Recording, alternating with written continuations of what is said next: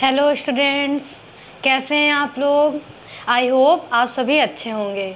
बेटा, जैसे कि पिछली वीडियो में हम लोग कनकेव मिरर में इमेज फॉर्मेशन पढ़ चुके थे और आज की वीडियो में हम लोग कन्वेक्स मिरर में इमेज फॉर्मेशन पढ़ेंगे। कन्वेक्स मिरर यानी कि उत्तल दर्पण में प्रतिबिंब का बनना सीखेंगे और अवतल दर्पण में प्रतिबिंब का बनना वो हम लोग पहले वीडियो में पढ़ चुके हैं। अगर किसी ने ना पढ़ा हो तो वो जाके देख ले प्लेलिस्ट में वीडियो पढ़े हुए हैं। तो चलिए बेटा टाइम को बिना वेस्ट किए हुए आज की क्लास शुरू करते हैं। उत्तल दर्पण में प्रतिबिंब का बनना। तो सबसे पहले हमने बताया कि कोई प्रतिबिंब भी बनाना हो तो पहले तो हम उसका दर्पण बना लेते हैं, दर्पण बनाएँगे। उत्तल दर्पण कौन सा दर्पण होता है? कनक्यो, कन्वेक्स मिरर कौन सा मिरर होता है? ऐसा मिरर जिसके इनवर्ट सरफेस पे पेंट हो। ऐसा दर्पण जिसका आंतरिक भाग में पेंट किया गया हो, जिसके आंतरिक भाग में पेंट किया गया हो, उसे हम उत्तल दर्पण बोलते हैं। यह हमारा उत्तल दर्पण बन गया। यह ऐसे हमारी मुख्य अक्ष चली गई प्रिंसिपल एक्सिस ये हमारा पोल है। इधर हमारा फोकस होगा। और इधर सेंटर ऑफ़ कर्वेचर होगा। क्योंकि ये जिस गोले से काट के बनाया गया, इसका केंद्र इधर की ओर होगा ना, ऐसे बना है। गोला ऐसे था हमारा, केंद्र इसका इधर है। अब जब हमने इनको काट दिया तो इसका केंद्र किधर आएगा? इस तरफ़ आएगा। अगर दर्पण ऐसा बना होता तो केंद्र इधर आता। तो इधर इसमें फोकस दूरी और centre of curvature focal length focal length centre of curvature इधर साइड होते हैं। और फिर ये हमारा पोल हो गया, ये फोकस हो गया, ये सेंटर ऑफ़ कर्वेचर हो गया। अगली कंडीशन इमेज बनने के लिए सबसे ज़रूरी बात क्या होती है? इमेज बनने के लिए सबसे ज़रूरी बात क्या होती है? हमें ऑब्जेक्ट गिवन होना चाहिए। ऑब्जेक्ट गिवन होना चाहिए। जैसे कि अवतल दर्पण में ऑब्जेक्ट गिवन होने की छः छः कंडीशन होती थी। लेकिन यहाँ पे छः कंडीशन नहीं होती, केवल दो कंडीशन होती है। कौन कौन सी? पहली कंडीशन जब वस्तु हमें दिखाई ना दे रही हो, जब वस्तु हमें दिखाई ही ना दे। दिखाई ना दे तो कहाँ होगी? अनंत पे होगी। तो पहली कंडीशन कौन सी? जब वस्तु अनंत पे रखी हो। और दूसरी कंडीशन जब वस्तु हमें दिखाई देने लगे, यानी कि जब हमें वस्तु दिखाई देगी, इसका मतलब वस्तु अनंत से अनंत से और पहले आ जाएगी। अनंत से और पहले आएगी तो कहाँ जाएगी? पोल और अनंत के बीच में। तो पहली कंडीशन जब वस्तु अनंत पे रखी हो, और दूसरी कंडीशन जब वस्तु ध्रुव और अनंत के बीच में रखी हो। उत्तल दर्पण में केवल यही दो कंडीशन होती हैं। चलिए देखते हैं। तो मान लीजिए, यहाँ पे अनंत पे कहीं पे वस्तु रखी हुई है। हमको दिख नहीं रहा। जब दिख नहीं रहा तो हम वस्तु दिखाएँगे भी नहीं। और हमने बताया था, समांतर रेखाएँ अनंत से आती हैं। अनंत से कैसी रेखाएँ आती हैं? समांतर रेखाएँ। इन्फिनिटी से कैसी लाइंस आती हैं? पैरेलल लाइंस आती हैं। तो अनंत पे कोई वस्तु रखी तो वहाँ से कैसी लाइंस आएँगी? पैरेलल लाइंस आएँगी। तो ये हमारी पैरेलल लाइन आ रही है। पैरेलल लाइन आ रही है। दर्पण से टकराई और परावर्तन हो गया इसका। रिफ्लेक्शन हो गया। रिफ्लेक्शन होके इधर की ओर चली गई। अब देखिए, हमने आपको बताया था कि जो पैरेलल लाइंस होती है, वो फोकस पे कट करती हैं। फोकस तो इधर है, यानी कि ये लाइन इधर आनी चाहिए, लेकिन दर्पण में पेंट है तो ये रियल में नहीं आएगी, ये हमको आती हुई एपियर होगी, आती हुई प्रतीत होगी। ऐसे, ये फोकस पे आ गई फोकस पे आके ये जो रिफ्लेक्टेड लाइन होती है, इसी को पीछे की ओर बढ़ा देते हैं तो ये फोकस पे मिल जाती है। जो रिफ्लेक्टेड लाइन होती है रिफ्लेक्टेड लाइन ये है परावर्तित किरण है, परावर्तित किरण को ही पीछे की ओर बढ़ा दिया जाता है तो फोकस पे मिल जाती है। दूसरी पैरेलल लाइन आई, दूसरी दूसरी समांतर किरण आई। वो भी टकरा के ऐसे चली गई। वो भी टकरा के ऐसे चली गई, टकरा के इधर क्यों चली गई? क्योंकि इसमें अंदर की तरफ़ पेंट है तो लाइट से उधर नहीं जा पाएगी। लेकिन ये जाती हुई प्रतीत होगी, इसको भी हम पीछे की ओर बढ़ाएँगे ऐसे तो ये भी जाके फोकस में मिल जाएगी। अब ये रिफ्लेक्टेड लाइन ये रिफ्लेक्टेड लाइन परावर्तित किरण जहाँ पे एक दूसरे को कट करती हैं, वहीं पे वस्तु का इमेज बनता है। तो वस्तु का इमेज कहाँ पे बनेगा? फोकस पे बनेगा। यानी कि जब वस्तु, when object when object at infinity at infinity जब वस्तु कहाँ पे हो? अनंत पे हो। जब वस्तु कहाँ पे हो? अनंत पे हो। अनंत पे थी, हमें दिख ही नहीं रही। तो उसका प्रतिबिंब कहाँ पे बनेगा? फोकस पे बनेगा। तो क्या लिखें? Position of image position of image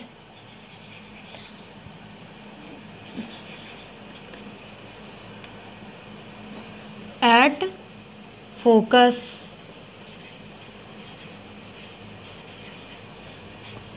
focus पर। प्रतिबिंब कहाँ पे बन रहा है? उत्तल दर्पण में प्रतिबिंब अगर वस्तु अनंत पे रखी हो तो प्रतिबिंब कहाँ पे बनता है? फोकस पे बनता है। और कैसा बनेगा? ये यहाँ पे रियल पे तो कट नहीं कर रही हैं कट करती हुई अपीयर हो रही हैं। यानी कि जब कट करती हुई एपीयर होती हैं तो प्रतिबिंब कैसा बनता है? वर्चुअल बनता है। वर्चुअल यानी कि आभासी। और मैंने बताया था, यदि इमेज प्रिंसिपल एक्सिस के ऊपर की तरफ़ बनेगा तो वो कैसा बनेगा? सीधा बनेगा इरेक्ट सीधा। और कैसा बना है? कितना बड़ा बना है? बहुत ही छोटा बना है।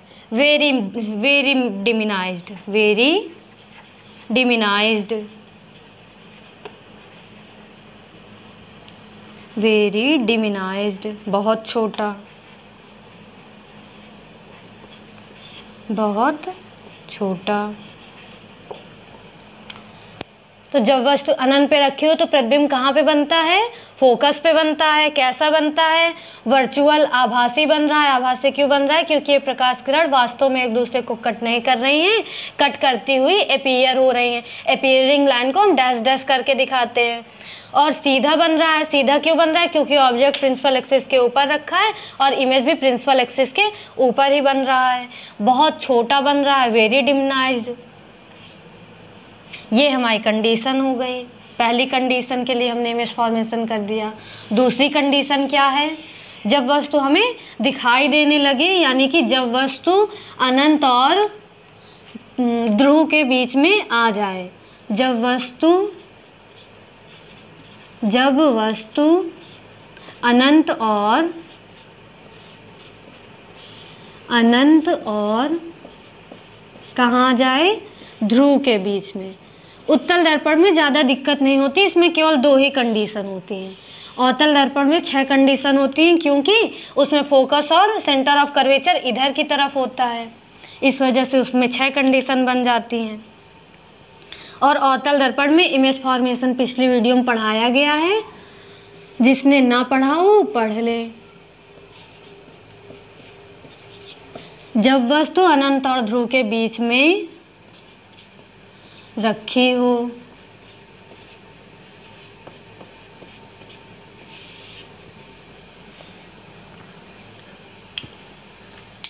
तो इसमें हम क्या करेंगे? सबसे पहले तो कनकेव मिरर बनाएँगे। कनकेव मिरर नहीं कन्वेक्स मिरर बनाएँगे। क्यों? कन्वेक्स मिरर की बात कर रहे हैं ना हम लोग, उत्तल दर्पण की। कन्वेक्स मिरर को क्या बोलते हैं हिंदी में? उत्तल दर्पण। पेंट कर दिया इनवर्ट सरफेस में। यहाँ से हम प्रिंसिपल एक्सिस ले गए। ये हमारा पोल है, ये फोकस दूरी है, ये सेंटर ऑफ़ कर्वेचर है। इतना तो चाहे जो इमेज बनानी हो, इतना हम अपने आप कर लेंगे। उसके बाद ऑब्जेक्ट रखेंगे। ये ऑब्जेक्ट है। ऑब्जेक्ट का नाम हमने दे दिया ए बी और ऑब्जेक्ट अब हमें दिखाई देगी तो यानी कि ये कहाँ पे? अनंत और ध्रुव के बीच में रखी है। अनंत और ध्रुव के बीच में ऑब्जेक्ट रखा हुआ है। तो इससे एक पैरेलल लाइन जाएगी। और पैरेलल लाइन जाती है तो वो कहाँ से जाएगी? फोकस से जाती है, लेकिन यहाँ पे पेंट है तो पैरेलल लाइन इधर नहीं जा पाएगी। यहाँ से टकरा के ऐसे वापस लौट जाएगी। इसको फिर हम डैश डैश करके पीछे की ओर बढ़ा देंगे। तो हम पीछे की ओर बढ़ाएँगे तो फोकस पे कट करेगी। फोकस पे कट करेगी। और और दूसरा नियम हमने क्या बताया था? पहला नियम, ये सारे नियम अवतल दर्पण में जब प्रतिबिंब बनने के नियम बताए गए हैं, वहाँ पे सब बताया गया है। जब प्रकाश किरण मुख्य अक्ष के समांतर जाती है तो फोकस से होकर जाती है और जब प्रकाश किरण फोकस से होकर जाती है तो परावर्तन के पश्चात मुख्य अक्ष के समांतर हो जाती है, ये दूसरा नियम था। तो यहाँ पे प्रकाश किरण डायरेक्ट फोकस से तो जा नहीं पाएगी। क्यों नहीं जा पाएगी? क्योंकि इसमें पेंट है। तो हमने तीसरा नियम लिखाया था। तीसरा नियम क्या था? यदि प्रकाश किरण सेंटर ऑफ़ कर्वेचर यानी कि वक्ता केंद्र से जाती है तो वक्ता केंद्र से ही उसी मतलब वक्ता केंद्र से जाती है तो वक्ता केंद्र से ही वापस लौट जाती है। यानी कि अब प्रकाश किरण को हमको कहाँ से ले जाना पड़ेगा? वक्रता केंद्र से, दूसरी प्रकाश किरण को ब्लू मार्कर से दिखाते हैं। ये।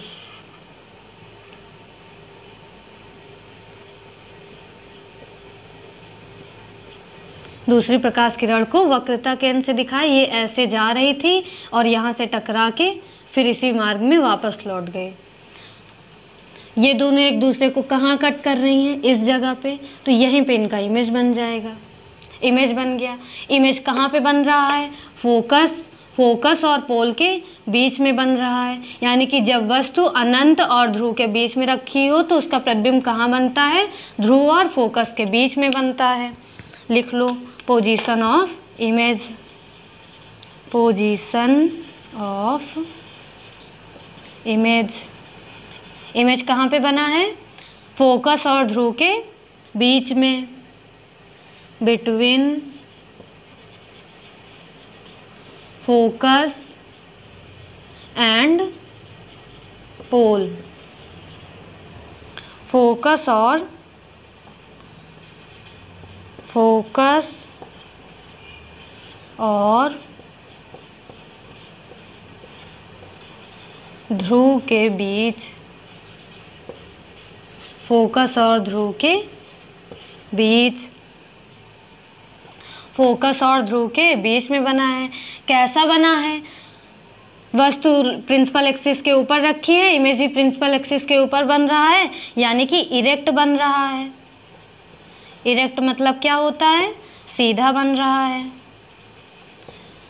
और लाइट रे, रियल में एक दूसरे को कट नहीं कर रही हैं, कट करती हुई अपीयर हो रही हैं तो इमेज कैसा बनेगा? वर्चुअल बनेगा। आभासी। आभासी बनेगा। और कैसा बनेगा? वर्चुअल बन रहा है, इरेक्ट बन रहा है, और ऑब्जेक्ट इतनी बड़ी थी, इमेज इतना बड़ा बन रहा है, यानी कि इमेज कैसा बन रहा है?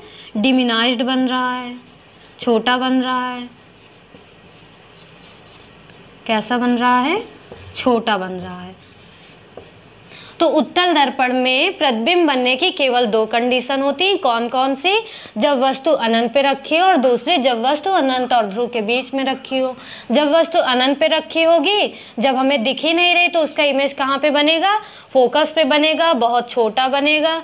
सीधा बनेगा और आभासी बनेगा। उत्तल दर्पण में हमेशा आभासी प्रतिबिंब बनता है और अवतल दर्पण में हमेशा वास्तविक प्रतिबिंब बनता है। केवल एक कंडीशन ऐसी होती है, जब आभासी प्रतिबिंब बनता है, वो कंडीशन कौन सी होती है? जब वस्तु फोकस और पोल के बीच में रखी होती है उत्तल दर्पण में, तब बनता है आभासी। बाकी उत्तल दर्पण की पाँच की पाँचों कंडीशन में वास्तविक प्रतिबिंब बनता है रियल इमेज बनता है और इसमें वर्चुअल इमेज ही बनता है।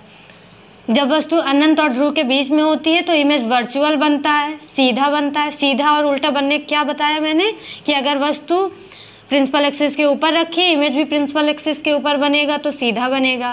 वस्तु ऊपर रखी है इमेज नीचे बन, रख इमेज नीचे बन रही है तो तो इमेज कैसे बनेगी? उल्टा बनेगी। और हमको दिख भी रहा है कि ये वस्तु इतनी बड़ी है इमेज इतनी बड़ी बनी, यानी कि छोटी बन रही है। छोटी बन रही है तो उत्तल दर्पण में प्रतिबिंब बनने की यही दो कंडीशन होती हैं।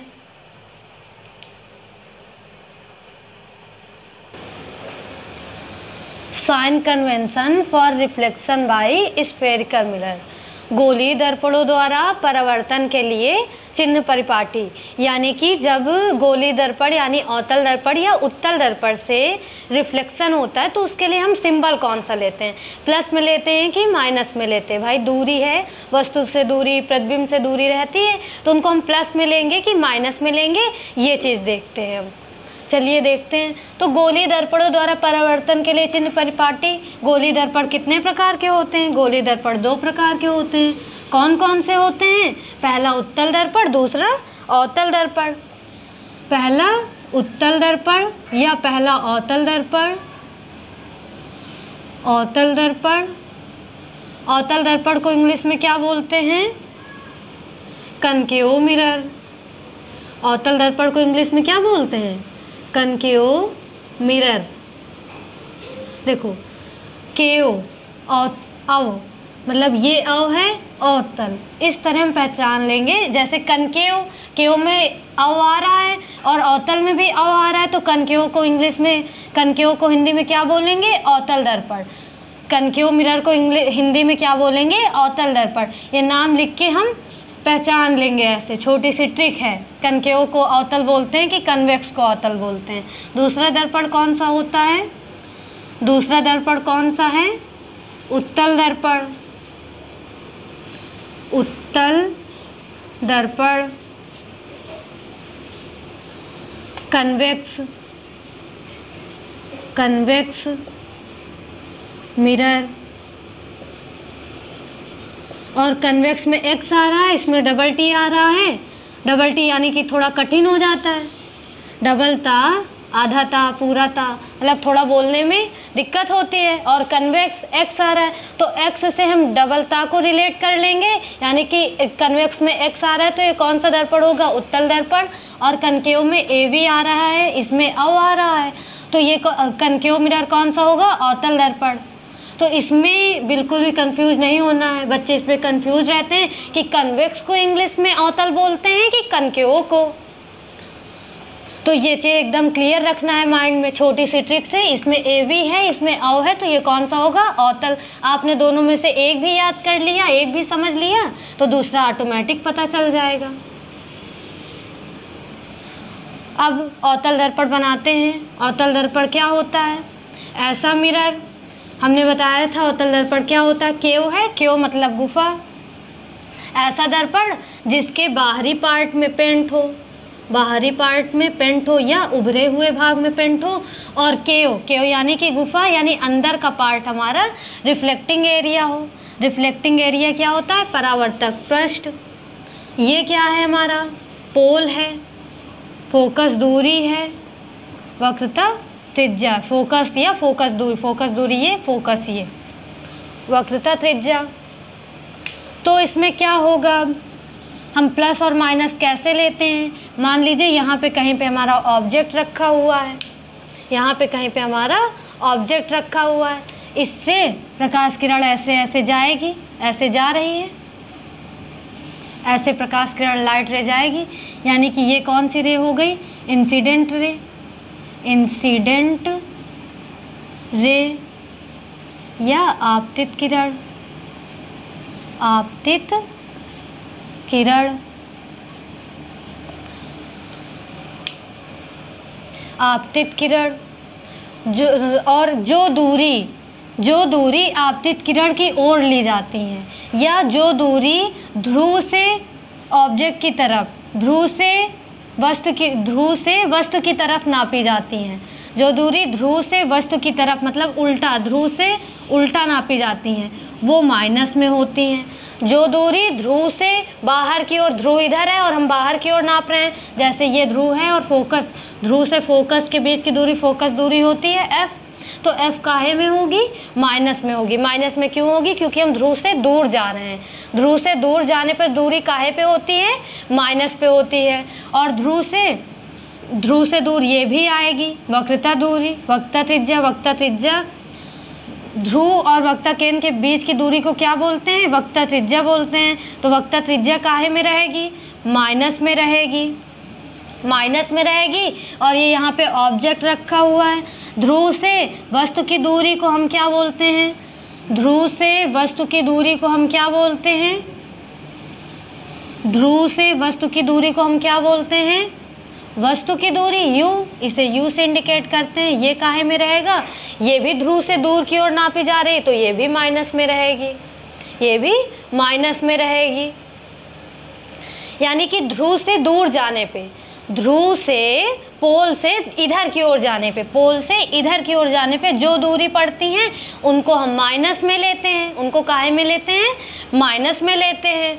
और जो दूरी ध्रुव की तरफ़ नापी जाती है, यानी कि अगर इधर की तरफ़ कोई दूरी नापी जाए, ऐसे, इधर की तरफ़ नापी जाएगी तो वो प्लस में नापी जाएगी, ऐसे नापी गई तो वो प्लस में होगी। ध्रुव की तरफ़ आने पे, इधर से ध्रुव की तरफ़ आने पे प्लस में ली जाएगी, ध्रुव से दूर जाने पे माइनस में ली जाएगी। जब हम लोग दूरी, फोकस दूरी नापते हैं, फोकल लेंथ तो हम लोग कहते हैं ध्रुव से फोकस के बीच की दूरी।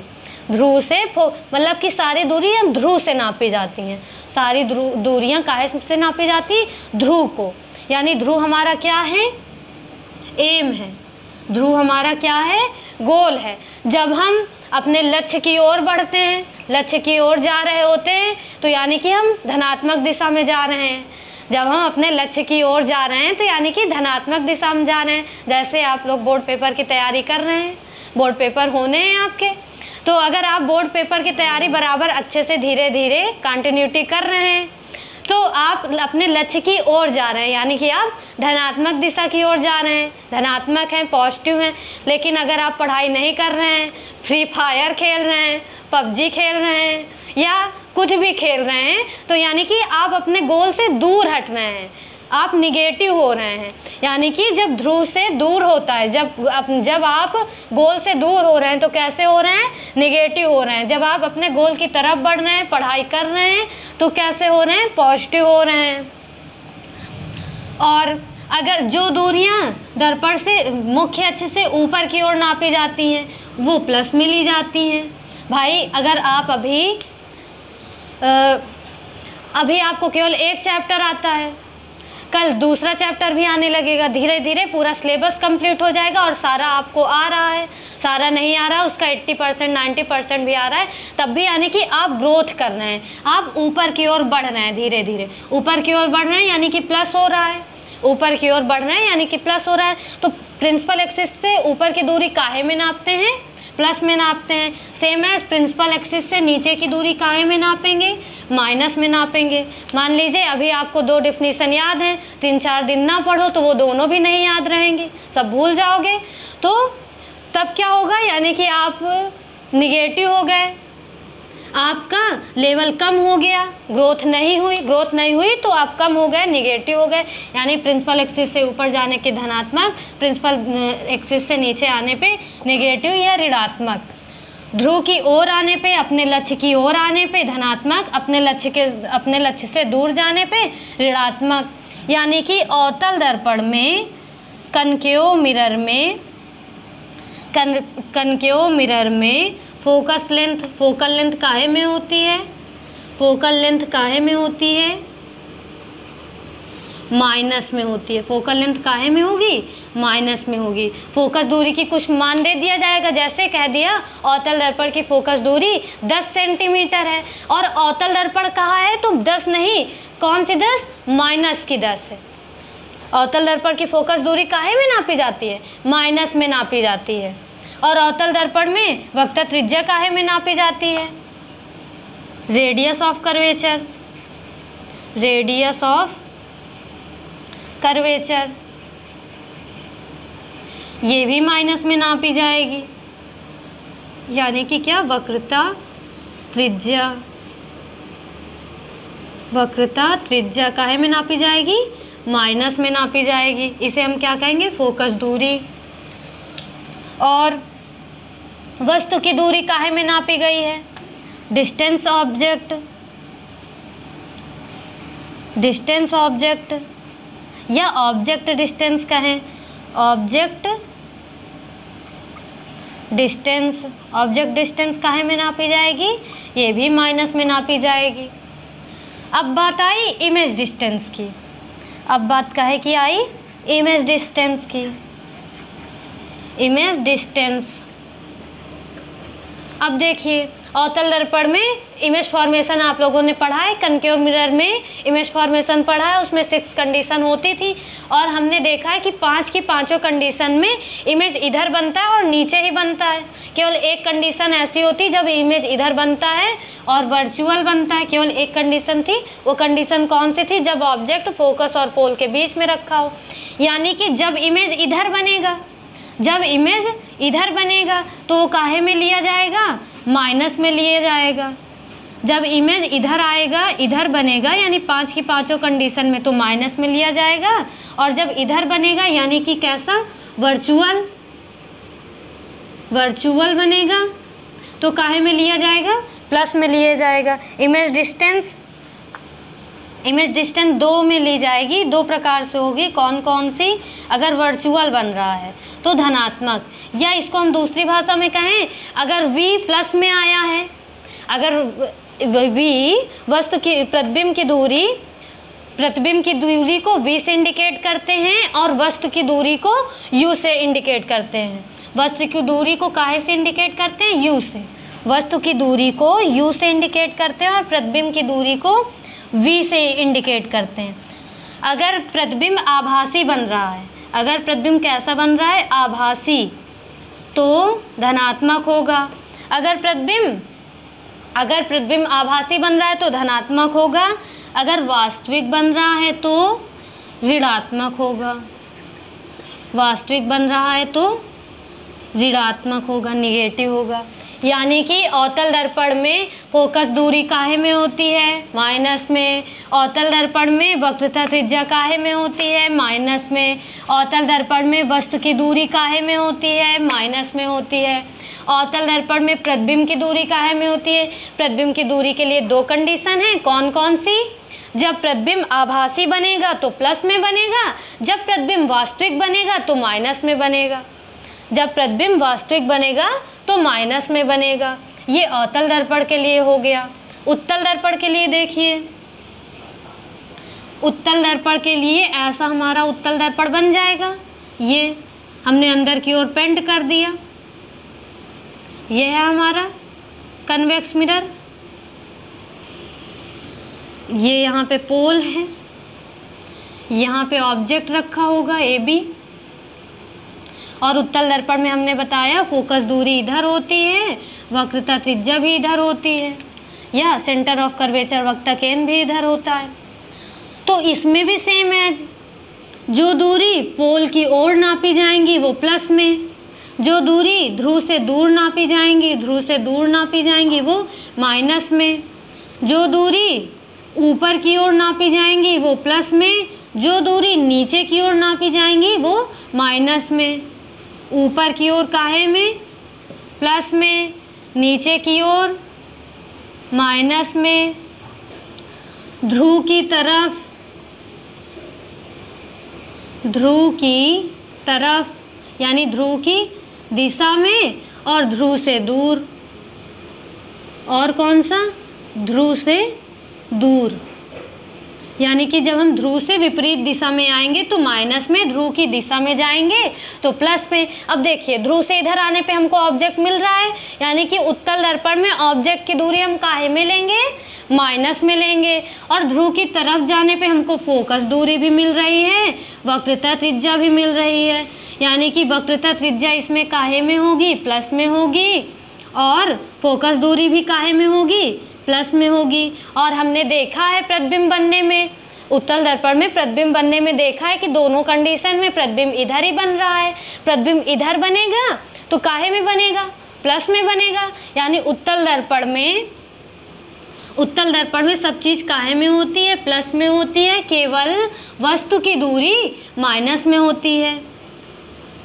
वस्तु की दूरी, वस्तु की वस्तु की दूरी को काहे से इंडिकेट करते हैं?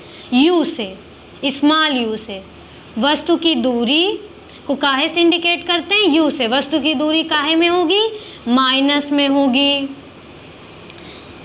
फोकस दूरी काहे में होगी? प्लस में होगी। फोकस दूरी प्लस में होगी। वक्रता त्रिज्या काहे में होगी? वो भी प्लस में होगी। वक्रता त्रिज्या काहे में होगी? प्लस में होगी। वक्रता दूरी या वक्रता त्रिज्या?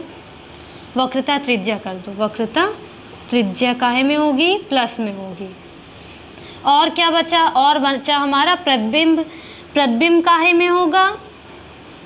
प्लस में होगा। क्योंकि इसमें वास्तविक प्रतिबिंब बनता ही नहीं है। केवल आभासी प्रतिबिंब बनता है तो आभासी प्रतिबिंब हमेशा प्लस में बनेगा। प्लस में बनेगा। जो दूरी ऊपर की ओर नापी जाती है, वो प्लस में जो दूरी प्रिंसिपल एक्सिस से नीचे की ना, नापी जाती मतलब प्रिंसिपल एक्सिस से ऊपर तो प्लस में प्रिंसिपल एक्सिस से नीचे तो माइनस में। और फिर पोल की तरफ़ जा रहे हैं, पोल के पास जा रहे हैं तो प्लस में, पोल से दूर जा रहे हैं तो माइनस में। और अवतल दर्पण हो या उत्तल दर्पण, दोनों में वस्तु कहाँ पे होती है? पोल से दूर ही होती है। यानी कि अवतल दर्पण और उत्तल दर्पण दोनों में वस्तु की दूरी काहे में होती है? निगेटिव में होती है। और उत्तल दर्पण में केवल वस्तु की दूरी निगेटिव होती है, बाकी फोकस दूरी, वक्रता त्रिज्या, प्रतिबिंब की दूरी, सब चीज़ प्लस में होती है। और अवतल दर्पण में? अवतल दर्पण में फोकस दूरी भी माइनस में होती है वक्र त्रिज्या भी माइनस में होती है, वस्तु की दूरी भी माइनस में होती है, प्रतिबिंब माइनस में भी होता है और प्लस में भी होता है। प्लस में कब होता है? जब आभासी प्रतिबिंब बनेगा और माइनस में कब होगा? जब वास्तविक प्रतिबिंब बनेगा, यानी कि जब इधर प्रतिबिंब बनता है तो वो माइनस में, जब इधर प्रतिबिंब बनेगा तो वो प्लस में बनेगा। प्लस माइनस की बात समझ में आ गई। इसमें अब कन्फ्यूज़न नहीं होना चाहिए। इसका यूज़ न्यूमेरिकल में बहुत है। इसका यूज़ न्यूमेरिकल में बहुत है। पूरे न्यूमेरिकल इसी से सॉल्व होंगे। जिस बच्चे ने प्लस माइनस की गलती कर दी, उसका सवाल सही नहीं होगा फिर। जब भाई प्लस माइनस की ही गलती हो गई प्लस माइनस की बहुत बड़ी गलती होती है ना प्लस माइनस की गलती हो गई तो पूरा सवाल गलत। भले ही आपने पूरा फार्मूला सही लगाया हो, सब कुछ सही हो, लेकिन अगर आपने छोटी सी माइनस प्लस की गलती कर दी तो पूरा सवाल गलत हो जाएगा। तो इसको बहुत ध्यान से और अच्छे से समझ लेना है। अगर आपको कुछ नहीं समझ में आया या किसी चीज़ में कोई कन्फ्यूज़न है तो आप उसको कमेंट सेक्शन में बता सकते हैं, या एम एम क्लासेस फेसबुक या इंस्टाग्राम की आईडी डिस्क्रिप्शन में दी गई है, उसको आप उसको आप फॉलो करके उसमें भी बता सकते हैं।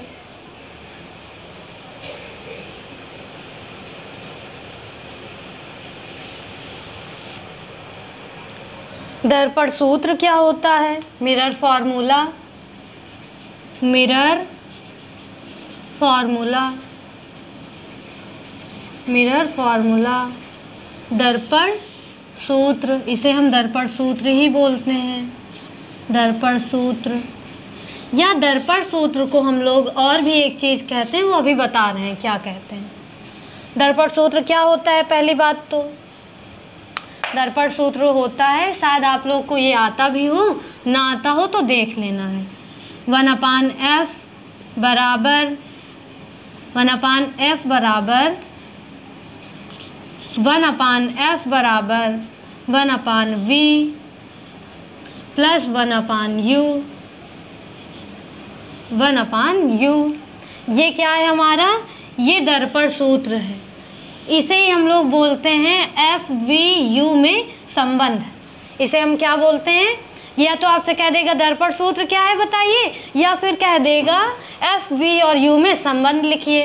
Relation between relation in relation in F V and U F V और यू में क्या रिलेशन होता है? तो बेटा देखो, यहाँ पे एफ़ हमने क्या बताया था? एफ़ क्या है? वी क्या है? यू क्या है? अभी बताया था आपको। एफ़ क्या है? एफ़ है हमारा फोकल लेंथ एफ़ क्या है? फोकल लेंथ है। वी क्या है? स्मॉल वी वी क्या है?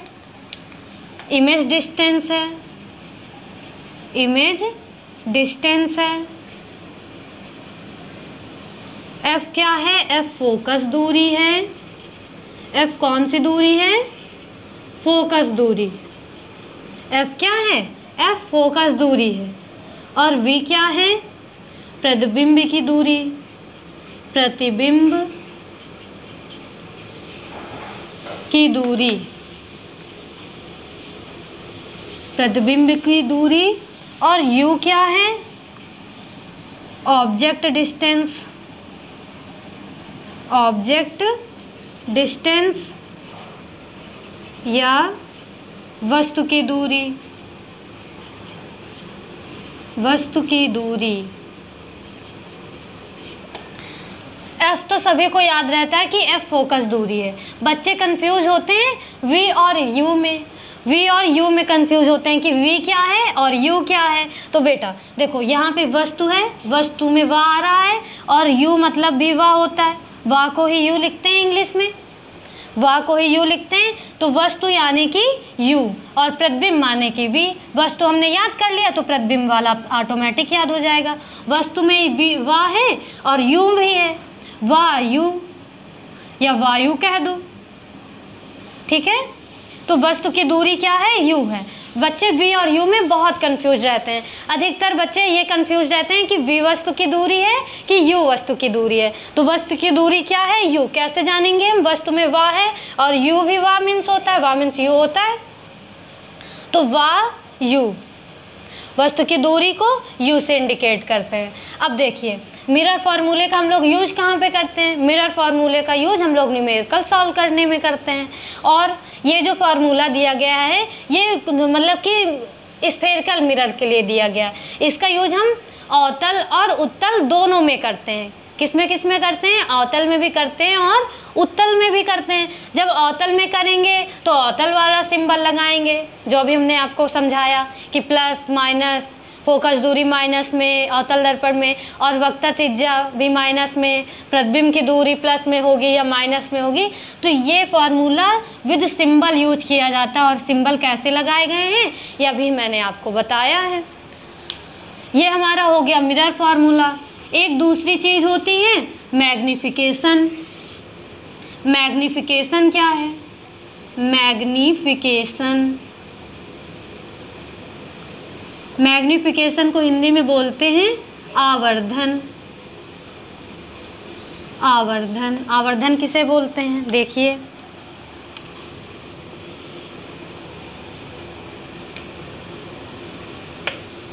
प्रतिबिंब की लंबाई। प्रतिबिंब की लंबाई तथा वस्तु की लंबाई, वस्तु की लंबाई लंबाई या ऊंचाई? प्रतिबिंब की लंबाई या वस्तु की लंबाई के अनुपात को अनुपात को आवर्धन बोलते हैं। आवर्धन कहते हैं। आवर्धन को ही आवर्धन क्षमता भी कहते हैं। आवर्धन को ही क्या बोलते हैं? आवर्धन क्षमता।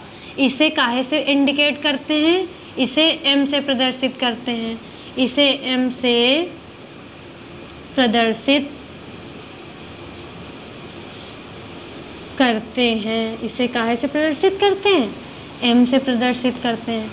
यानी कि एम बराबर आई अपान ओ आई क्या है? इमेज है। और ओ क्या है? ऑब्जेक्ट है। आई क्या है? इमेज है। और ओ क्या है? ऑब्जेक्ट है। यानी कि प्रतिबिंब की दूरी और वस्तु की दूरी। बाकी इमेज और ऑब्जेक्ट लिखा नहीं जाता है। लिखा आई अपान ओ ही जाता है। यानी आवर्धन समतक फॉर्मूला क्या बनेगा? एम बराबर आई अपान ओ। इसे ये लिखा जाता है कहीं कहीं पे एम बराबर माइनस का वी अपान यू वी क्या है? वी प्रतिबिंब की दूरी है यू वस्तु की दूरी है। बेटा देखो, दूरी और लंबाई में एक अंतर। जैसे हम ये ऑब्जेक्ट रखें, ये हमारा मार्कर है, ये मार्कर कहीं पे और ये रखा हुआ। तो ये जो इसकी लंबाई है, ये लंबाई है तो यानी इसकी लंबाई और जो इसका प्रतिबिंब बनेगा, उसकी लंबाई। लंबाइयों के अनुपात को आवर्धन क्षमता कहते हैं। और दूसरी चीज़, इनके दूरी। यानी कि यहाँ पे अगर दर्पण रखा हुआ है, यहाँ पे मिरर रखा हुआ है तो इससे कितनी दूरी पे वस्तु रखी है? इससे कितनी दूरी पे वस्तु रखी तो दूरी और लंबाई में दो अंतर। यानी कि आपसे कितनी दूरी पे ये ऑब ये मार्कर रखा हुआ है और ये मार्कर की लंबाई कितनी है? ये मार्कर कितना बड़ा है? ये इसकी लंबाई हो गई और इस मार्कर की दर्पण से दूरी कितनी है? ये हमारा प्रतिबिंब या वस्तु की दूरी हो गई। तो दूरी और लंबाई में कंफ्यूज नहीं होना है। एम बराबर आई अपान ओ भी होता है एम बराबर माइनस वी अपान यू भी होता है। प्रतिबिंब की लंबाई तथा वस्तु की लंबाई के अनुपात को आवर्धन क्षमता कहते हैं। प्रतिबिंब की दूरी तथा वस्तु की दूरी के अनुपात के ऋणात्मक मान को आवर्धन क्षमता कहते हैं। जब हम दूरी लेते हैं तो उसको ऋणात्मक में ले लेते हैं। तब आवर्धन क्षमता ऋणात्मक में रहती है। और इसे ही अगर इंग्लिश में कहना हो तो क्या कहेंगे? The ratio of the ratio of height of image and height of object is called magnification the ratio of height of image and the ratio of height of image the ratio ratio मतलब अनुपात height of image and height of object is called magnification is called magnification